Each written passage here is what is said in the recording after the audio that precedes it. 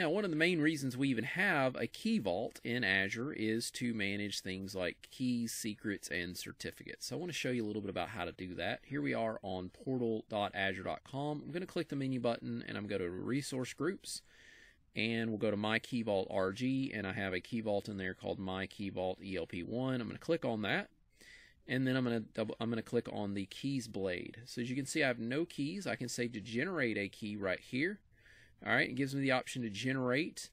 Um, I can generate based on HSM protected keys. That gets into using Microsoft's uh, HSM system. Costs a little bit more money to do that. And uh, you can also import from somewhere else. Okay, import from a file if you've got one on premise. That that's called a customer managed key.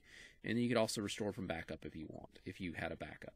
So I'm going to call this my key demo. That's going to be the name of it and I'm going to go with uh, with RSA.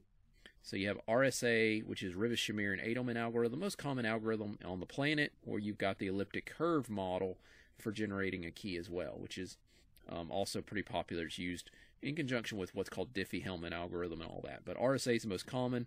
You can also do the HSM backed up versions if you want, but again, more expensive to use hardware security module equipment.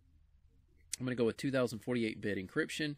You could also schedule, like set an activation date, set an expiration date if you want. Um, you can go ahead and enable it. You can apply tags. You can also do what's called uh, key rotation, which will switch the key out, which I'm not really getting into right now. But I'm going to click to create, and I've now officially created myself a key. I can click on that key if I want, and there is the current version of the key. I can also click on that. If I wanted to download a, a copy of that public key, I can do that by clicking that button right there. Okay. Um, so let's go back over here and we'll click on secret. So secret is like a password or some kind of code you want it to remember. So I go here, I could create one manually, I could uh, build a secret from a certificate if I want. I'm going to give this my secret demo is going to be the name of it and I'm just going to type a bunch of characters. And so that's my secret code right there.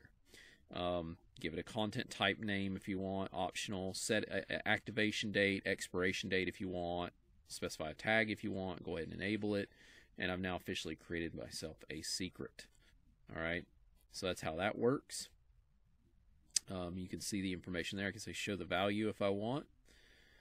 All right, and then finally we have certificates. So I could uh, generate a certificate if I want. Go right here and say generate. You can also import one from somewhere. So like if you've had a certificate applied from your own certificate authority, or if you um, if you had one from a uh, maybe a third party certificate authority, you could do that.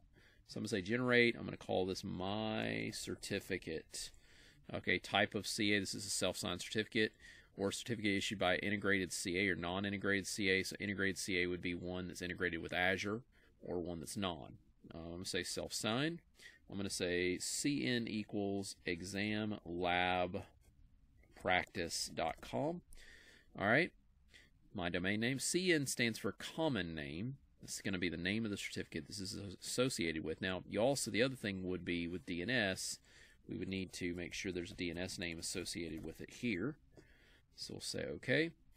Um, you can set a validity period, 12 months. It's a year. Most of the most certificates are valid for a year.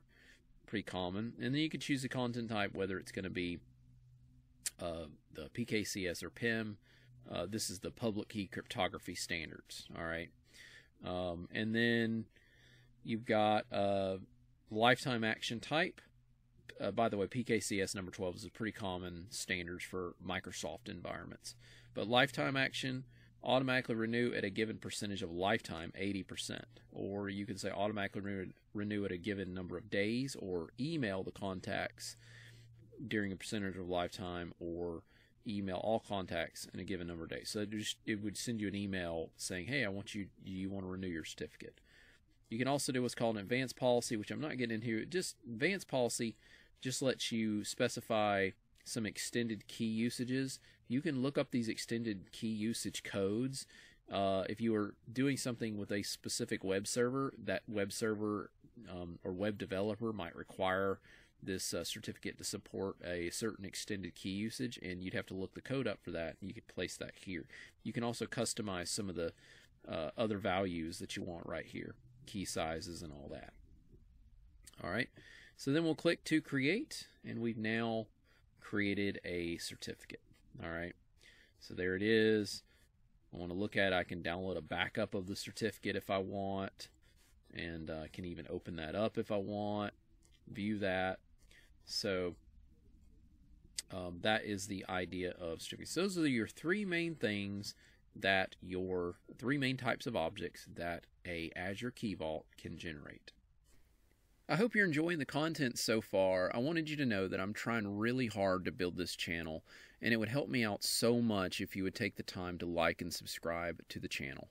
Alright, and with that said, let's get back to the video.